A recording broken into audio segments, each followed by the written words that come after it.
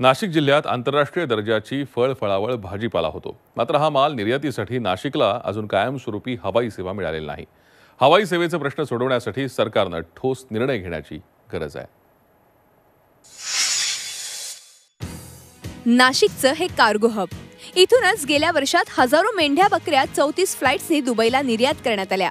ह्या सर्व निर्यातीला आडकाठी आणणाऱ्यांना न्यायालयानं चपराक दिल्यानं थेट नाशिक दुबई कार्गो सेवा अविरत सुरू झाली आहे नाशिक ही खरं तर पर्यटन नगरी.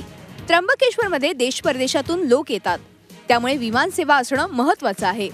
नासिक एयरपोर्ट बहुत ही बेस के लिए नासिक एयरपोर्ट बहुत कंड्यूसिव है क्योंकि एक तो यहाँ पे लैंड की कोई कमी नहीं है और दूसरी पार्किंग की कोई प्रॉब्लम नहीं है। एटीसी में कंजेशन नहीं है।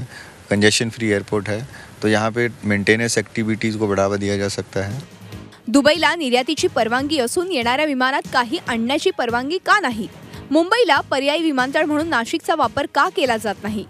कृषीपूरक उद्योगांच्या मदतीसाठी नाशिक विमानतळ का वापरले जात नाही? प्रवासी विमान सेवेसाठी अनेक जण असतात. आंतरराष्ट्रीय उड्डाणांची परवानगी का नाही? नासिक को सबसे पहले हम लोग महाराष्ट्र के विभिन्न बड़े शहरों से जोड़ें और फिर देश के विभिन्न बड़े शहरों से जोड़ें। और अगर यहाँ से अ, किसी तरह का एक्सपोर्ट का हो या अगर इंटरनेशनल कनेक्टिविटी के लिए आता है तो उस पर ज़रूर विचार किया जाएगा। लेकिन सोचने वाली चीज़ है कि अभी तो पहले अपने देश में कनेक्टिविटी कर लें इससे हम लोग। और जब इंटरनेशनल फ़्लाइट की जब बात आएगी तो उस पर भी विचार करेंगे।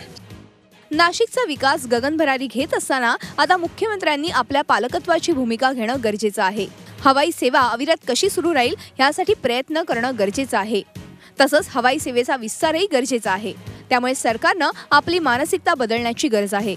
Yogesh खरेसह bureau report Zee media Nashik. Zee चोवीस तास. रहा एक पाऊल पुढे.